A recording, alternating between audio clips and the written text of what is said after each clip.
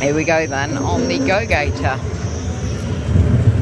Oh, it's quite snappy. Seems like a new one, maybe.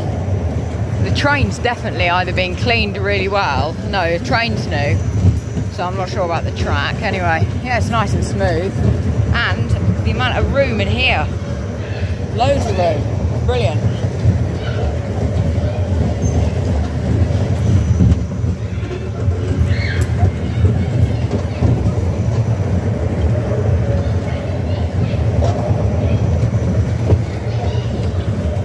Yeah, I feel like I've gotten really good with uh, doing the shameful credits. Lovely uh, park here.